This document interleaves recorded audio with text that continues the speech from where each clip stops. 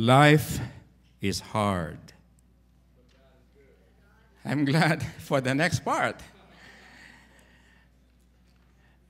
Life is hard, but God is good.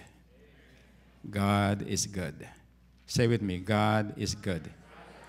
Praise God. Are you sure of that?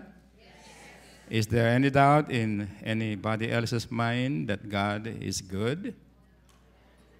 Okay, I'm so happy to hear that nobody is doubting that. But you know what? There are people who do, even some Christians.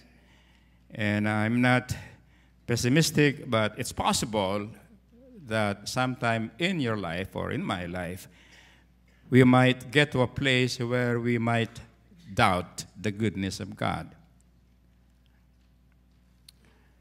Especially when life falls apart. When life falls apart, which is our topic for today. If people could ask God one question and are sure to get an answer from God, what will be their question? Give you a few seconds to think. Maybe some of you are saying, they, not I, they will ask, How can I be a multimillionaire? Possible. But you know what? That is not the answer of the majority. A survey done by George Barna, the popular Christian pollster, showed that the majority will ask, Why is there pain and suffering in the world? That is the report, the survey done by Barna. Why is there pain and suffering in the world? Here are some biblical answers.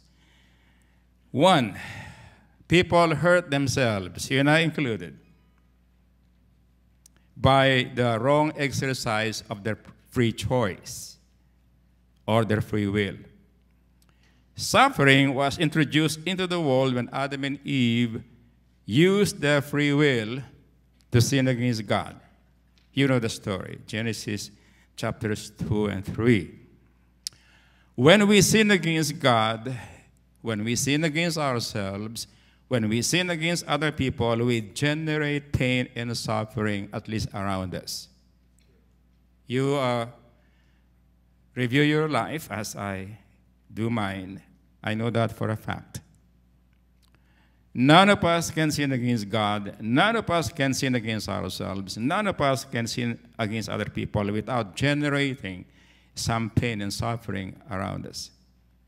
Let me just give you a concrete example about sinning against ourselves. If you abuse drugs or abuse food, sooner or later you will, know what happens, right? You will create some painful suffering and experiences for yourself. As a result of sin, there is disorder, there is decay, and there is death in the world that cause pain and suffering. Romans 5:12. Romans 8:22. Actually, Adam and Eve were the first couple who experienced the result of sin in themselves, in their home, and in their family. And the rest of the human family, you and I included, from Adam to us today, we know that to be true. And another possible uh, answer is that Satan, who attacked Adam and Eve, is still attack people today. This is where we are in our text, Job chapters 1 and 2. Now, a major argument used by atheists against the existence of God is a question. Atheists say or ask if God is love and if God is all powerful, why the pain and suffering in the world? Of course, if you have a logical mind, you can connect the dots. What the atheist is saying, here is a loving God who has all power to manipulate and control everything in the universe. How come he allows pain and suffering as part of our human experience? My answer is suffering in the world does not disprove the experience, I should say, the existence of God, but it proves the sinfulness of men and the fallen condition of the world.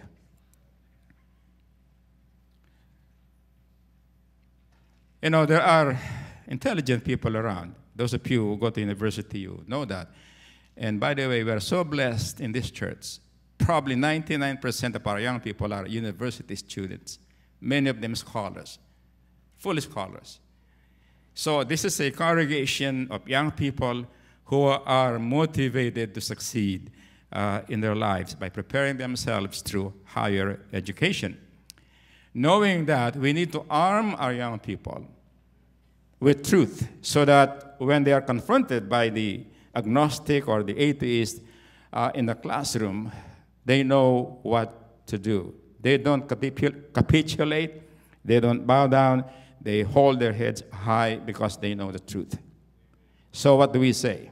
What do we say to the atheist who is saying, How can there be a God who is loving and almighty when there is so much pain and suffering in the world? I repeat my answer Suffering and pain in the world does not disprove the existence, existence of God. It simply proves the sinfulness of men and the fallen condition of the world. Now, another consideration, which is highly biblical and theological yes, God is love. Yes, God is almighty, but even this God gave and allowed his one and only Son to suffer and die on the cross for sins he did not commit. Have you stopped to think about that? Why did God do that? Because God involved himself in human suffering to provide redemption for you and me. So, yes, there is suffering in the world. But God is not aloof. He joined us in the suffering. He suffered with us. So, so why do you blame the pain and suffering on this God who is loving and almighty, who is, it looks like, allowing pain and suffering in the world? You see, the natural consequence of sin is pain. So when God created Adam and Eve with the power to choose right or wrong, God knew there would be pain and suffering. So he prepared for that. Long back in eternity, the Son was destined to come here and die on the cross for us. Amen? Now, research has shown that there are people who get disappointed with God. That's the key word. Disappointed with God and lose their faith in their times of pain and suffering, although many of these people know that Jesus suffered on the cross for them. This is why a solid biblical theology of suffering is needed to brace our faith in God in times of pain and suffering. More than psychological pep talks, more than feel good messages, people need in depth Bible teaching to support their faith in their times of pain and suffering. We need a deep and in depth theology of suffering, which is missing from big ministries today. Listen to the big time talkers on the TV. They're over positive. That's good. But you know, it's not, it's not, it's not always positive. We just read the story, or we will read the story uh, about Job, right? So, um, like Jesus and the apostles, we need to teach people sound biblical principles on suffering to help them cope with suffering. Jesus did that over and over and over. Read the Gospels. Apostle Peter actually wrote entire letter, First Peter. James, Jude, all of this, like Jesus, prepared their people, their congregations, for suffering. The biblical, basic, classic discussion on the subject of suffering, of course, you know, is the book of Job, which provides for us spiritual insights on how to deal with suffering. My messages this month are what I call, as you already know, life is hard, but God is good. Today's topic, when life falls apart, based on Job chapters 1 and 2. It's a very long text. It's a story that uh, will really, really get your attention. In the land of Uz, there lived a man whose name was Job. This man was blameless and upright. He feared God and shunned evil. That is what we call a good man. A good man from a Christian point of view, from a biblical point of view. That's a good man. He had seven sons and three daughters. Prolific father, produced 10 siblings. And he owned 7,000 sheep 3,000 camels, 500 yoke of oxen, and 500 donkeys, and had a large number of servants. He was the greatest man or the richest man among all the people of the East. His sons used to take turns holding feasts in their homes, and they would invite their three sisters to eat and drink with them. When a period of feasting had run its course, Job would send and have them purified. Early in the morning, he would sacrifice a burnt offering for each of them, thinking, Perhaps my children have sinned and cursed God in their hearts. This was Job's regular custom. He was a good father. A good man, a good father. Keep on reading. One day, the angels came to present themselves before the Lord, and Satan also came with them. The Lord said to Satan, Where have you come from? Satan answered the Lord, From roaming through the earth and going back and forth in it. Then the Lord said to Satan, Have you considered my servant Job? There is no one on earth like him. He is blameless and upright, a man who fears God and shuns evil. How do you know you fear God? The answer is there. You shun evil. Don't tell God you fear Him and you indulge in sin. Right? Verse 9. Does Job fear God for nothing? Satan replied, Have you not put a hedge around him and his household and everything he has, meaning he has a ring of protection? from you. I cannot touch him. You have blessed the work of his hands, so that his flocks and herds are spread throughout the land. But stretch out your hand and strike everything he has, and he will surely curse you to your face. And God accepted the challenge. And Job became the battleground between God and Satan without Job knowing it. Poor Job. Verse 12. And the Lord said to Satan, Very well, then, everything he has is in your hands, but on the man himself, do not lay a finger, meaning you, you cannot be harmed or hurt by Satan without God's permission. Then Satan went out from the presence of the Lord. One day, when Job's sons and daughters were feasting and drinking wine at the oldest brother's house, a messenger came to Job and said, The oxen were plowing and the donkeys were grazing nearby, and the Sabaeans attacked and carried them off. They put the servants to the sword, and I am the only one who has escaped to tell you. While he was still speaking, another messenger came and said, The fire of God, insurance people call this the acts of God. The fire of God fell from the sky and burned up the sheep and the servants, and I am the only one who has escaped to tell you. I'm just wondering, how did this servant know it was fire from God? He was making up a story, don't you think? Verse 17 While he was still speaking, another servant came and said, The Chaldeans formed three raiding parties and swept down on your camels and carried them off. They put the servants to the sword, and I am the only one who has escaped to tell you. While he was still speaking, yet another messenger came and said, Your sons and daughters were feasting and drinking wine at the oldest brother's house when suddenly a mighty wind tornado swept in from the desert and struck the four corners of the house. It collapsed on them, and they are all dead. And I'm the only one who has escaped to tell you. What was the response of Job to all these negative reports? Verse 20. At this, Job got up, tore his robe, and shaved his head. Then he fell to the ground in worship. He was a good man, he was a good father, he was a good worshiper. Let's continue. He said, Naked I came from my mother's womb, and naked I will depart. The Lord gave, and the Lord has taken away.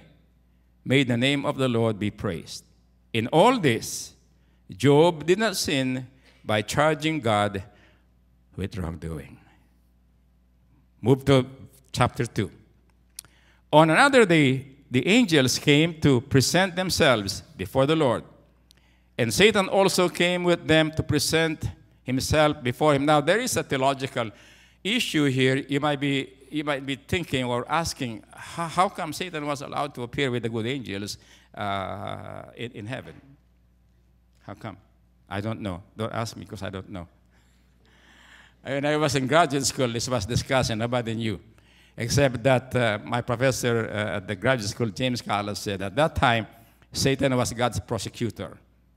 Okay, I don't know if he's still the prosecutor today.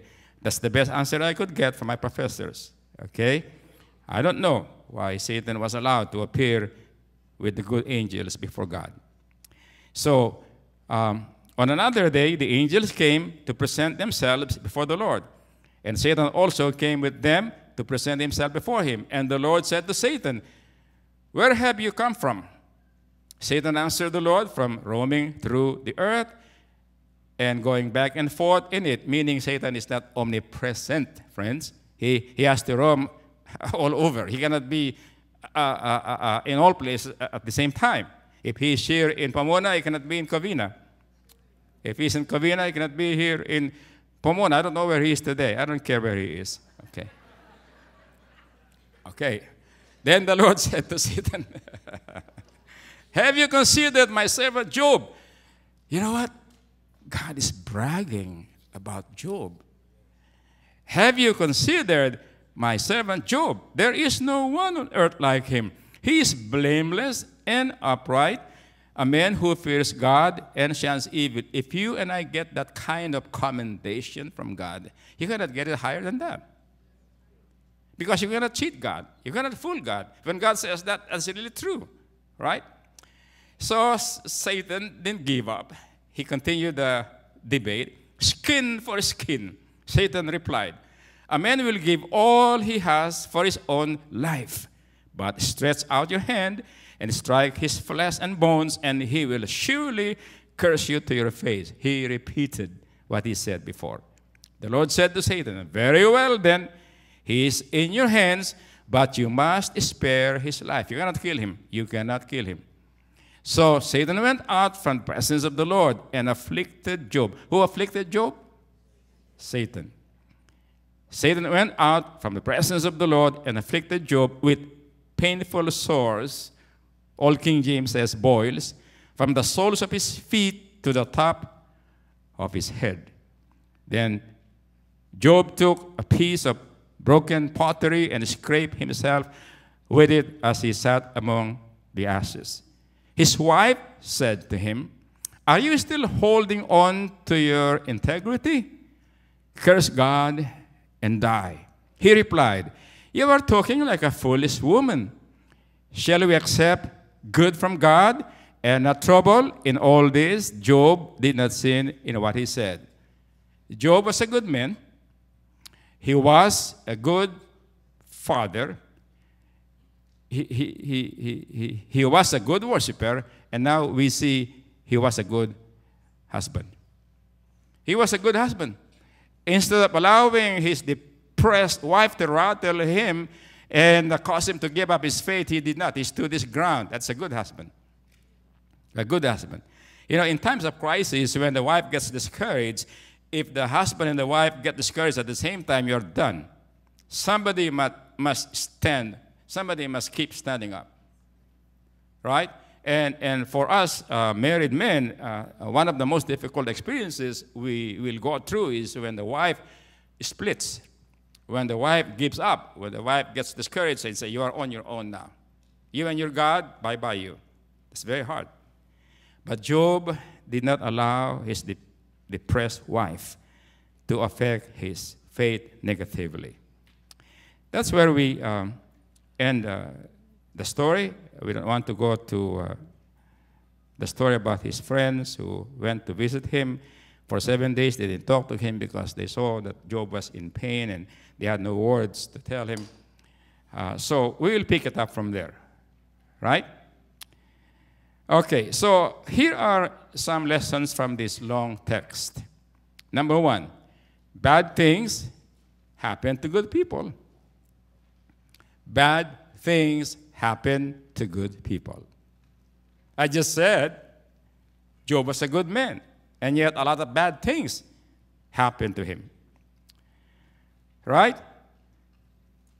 When I was 15 years old in the Philippines, I heard a funeral sermon by a Methodist bishop who discussed the question why do the righteous suffer?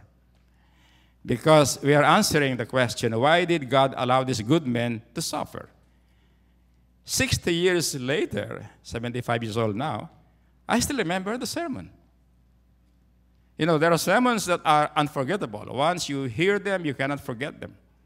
So, Bishop Fidel Galang, I was still in the Methodist Church at the time, said, The righteous suffer, number one, because they chose to suffer when they decided to take up their cross and follow Jesus. Do you know, friends, as Christians, some of our sufferings were chosen by us. There are times when you and I could avoid suffering, but for the sake of the faith and the cross, we don't. So, why do the righteous suffer? Dr. Galang said, because when they chose to take up their cross and follow Jesus, they chose to suffer. And secondly, he said, the righteous suffer because their righteousness is a gift from God. Therefore, they cannot use their righteousness to exempt them from suffering. They cannot say to God, God, you must, you must see to it. I don't suffer because you see, I'm righteous. And God will say, Yes, you are righteous, but your righteousness is my gift to you. Don't use your righteousness as a leverage, okay, to, to, to, to be sure I don't allow you to suffer.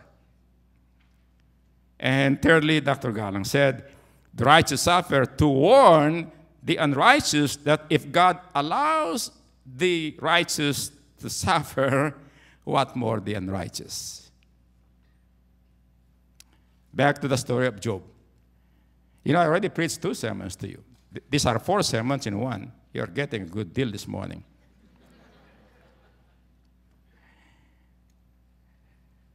Back to the story of Job. Why did God permit Satan to inflict pain and suffering on Job? Possible reasons. To prove to Satan, to prove to demons, to prove to people that it is possible for a believer to suffer and still keep his or her faith in God. Job is a classic exhibit and example that God's followers could suffer in this life without losing their faith in Him. Job teaches believers that suffering could be a direct attack of Satan, not necessarily a punishment by God for our sins.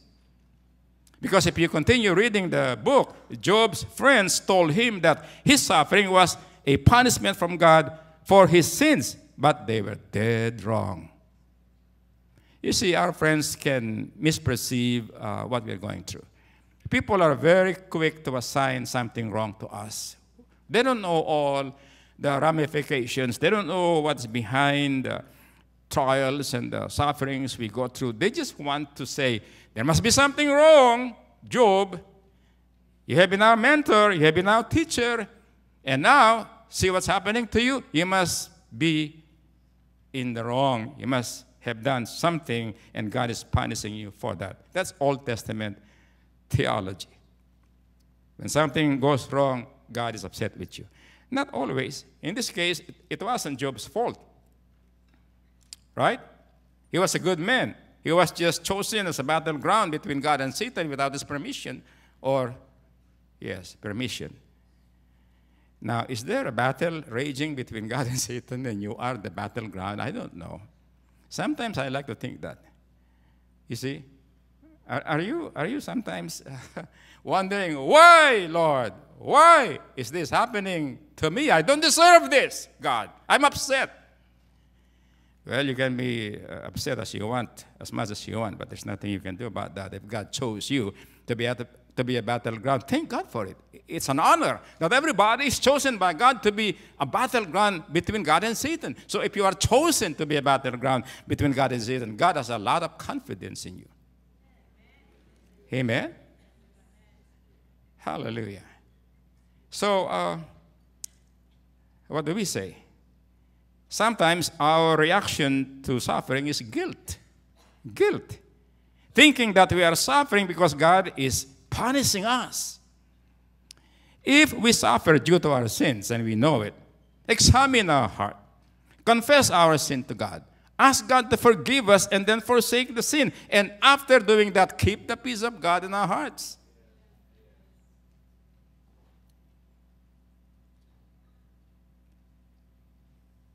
David confessed to God, Before I was afflicted, I went astray, but now I obey your word. Is that on the screen? Not yet? Yet? I repeat it. Psalm 119, verse 67. David said, Before I was afflicted, I went astray, but now I obey your word. I'm trying to uh, strike a very delicate balance here, friends. The delicate balance being your suffering is not necessarily a punishment from God, but at the same time, your suffering could be a result of your going astray. Right? So, the second lesson we uh, learn from this story of Job is that nothing bad will be done to you by Satan, by demons, by people without God's permission. Without God's permission. God is still in sovereign control. Satan was only able to attack Job with God's permission. You read it twice. You heard it twice. Chapter 1, chapter 2 of Job. Satan, demons, and people cannot harm us without God's permission. They may point a gun in your head, but that gun will not fire without God's permission. Right? Maybe if somebody points a gun at your head and say, denounce Christ or die, just say, make my day, go ahead. Reaganist statement. Right? Go ahead, make my day. Yes, Satan is powerful, but God is all powerful. God is more powerful than Satan and all his demons combined. So let us not be afraid of Satan, let us not be afraid of demons. Let us not be afraid of wicked people because they cannot harm us without God's permission. That's why David said, again, David is speaking, Psalm 27 1, The Lord is my light and my salvation. Whom shall I fear? The Lord is the stronghold of my life. Of whom shall I be afraid? It's a rhetorical question. The answer is none. None. None. I should fear None. Okay? Pain and suffering are inevitable consequences of living in a fallen world where everyone can get hurt, good and bad people alike. That is a reality that all of us Christians must accept. We are living in a fallen world where everyone can get hurt, good and bad people alike. Like, for example, last week, Brother Elmer Santos, direct from church. Uh, crazy driver who ran red lights struck their uh, van and just spun around, and the whole family was hurt. But uh, not very badly. So uh, I just said, in this world, Everybody can get hurt, even good people, with God's permission. For us Christians, sometimes God permits us to go through suffering for the following reasons. Because this question is repeating, repeating itself in our minds by now. If I were in your seat, I would ask this question. The question is why does God permit us? Why does God permit me to go through suffering? Let me uh, share with you four answers. One, to mature us. To mature us. To mature us in the faith, to mature us as a person, to mature us. Two, to comfort others through the pain and suffering we go through. That's Second Corinthians, right? Second Corinthians tell us, uh, Paul tells us that you comfort others through the suffering or the comfort that God has given you in your suffering. And thirdly, to test our faith. Test our faith. Like uh, Abraham was tested, his faith was tested when God asked him to offer up his son Isaac as a burnt offering. And to allow us to appreciate the sufferings of Christ for us. To allow us to appreciate the sufferings of Christ for us. Third lesson we learn from Job. A key to endurance in times of suffering and pain is what? Worship worship. A key to endurance in our times of pain and suffering is not just the Sunday 10:30 to 12 noon service or worship service here. It is the life of worship. It is the attitude of worship, whether you are in church or outside the church. This is our corporate expression of our personal worship as Christians. But a key to endurance is worship. Job's life suddenly started to completely fall apart. He was worth millions, and suddenly everything that could go wrong went wrong. Within minutes, Job had lost everything due to cattle, rustlers, lightning strikes, robbers, and he had no insurance for his properties that were lost. There were no insurance companies yet at that time, right? One moment, Job was one of the wealthiest men in the East. The next moment, he was penniless. Now, people who had gone through total bankruptcy know the feeling. Maybe there is somebody here who knows the feeling, right? Now, although Job was grieved by his losses, he worshiped God in his suffering. As we just read together, and for emphasis, I'm reading it again Job 1, verses 20 to 22. At this, meaning after all the bad reports, Job got up and tore his robe and shaved his head. Then he fell to the ground in worship. He said, Naked came I from my mother's womb, and naked will I depart.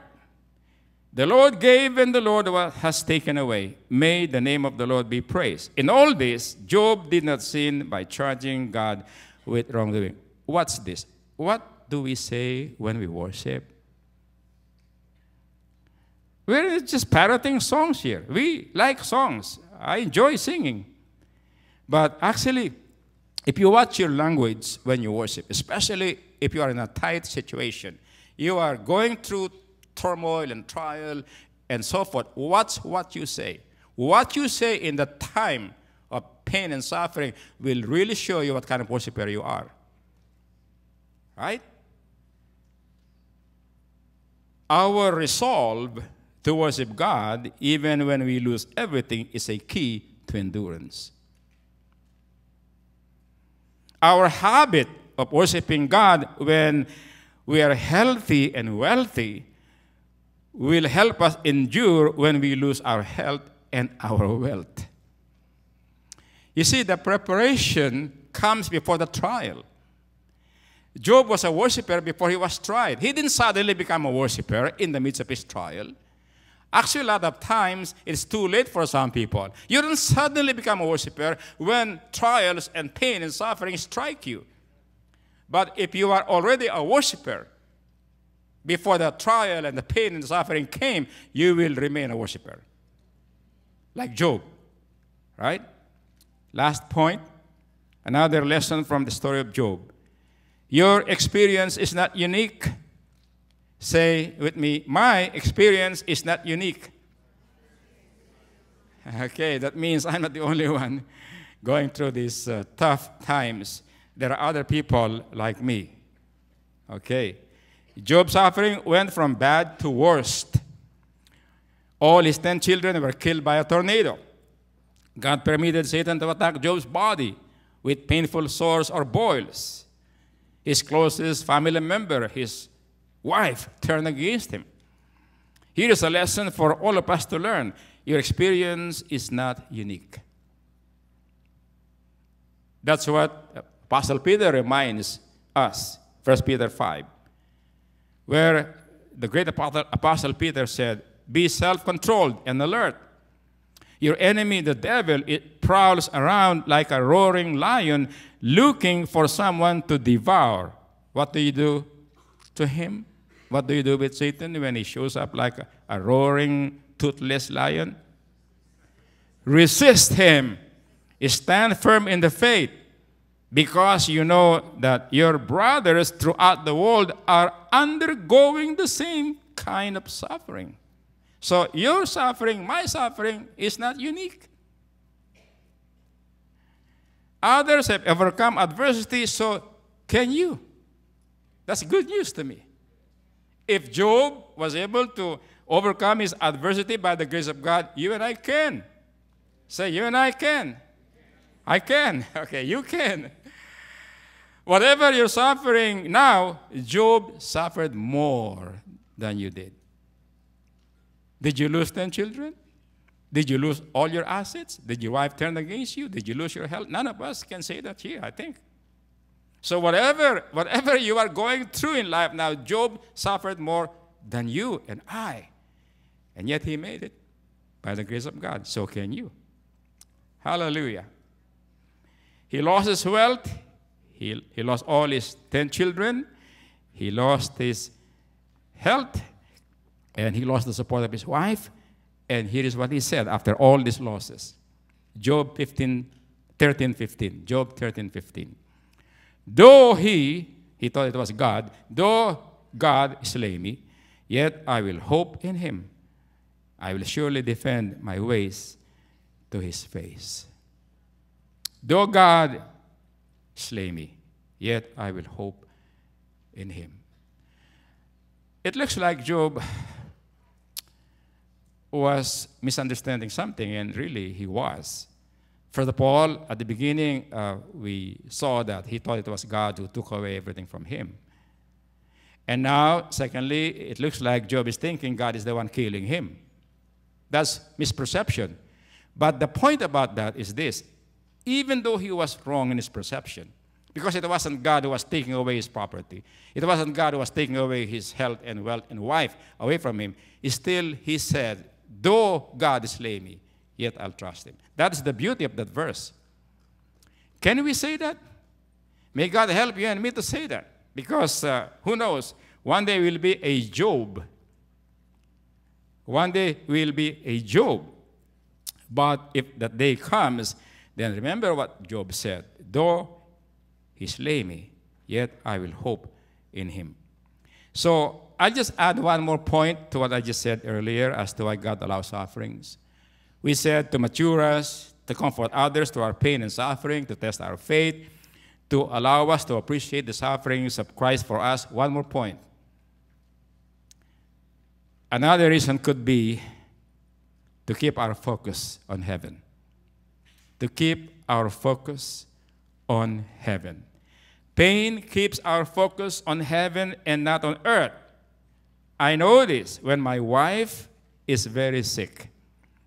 She talks and sings about heaven a lot. And I get scared when I hear her sing and talk about heaven a lot. Because uh, to me, that sounds like he's about to die and go to heaven you know, I get nervous. And uh, even I, when I had stage three cancer and almost died, I uh, remember myself singing a lot about heaven.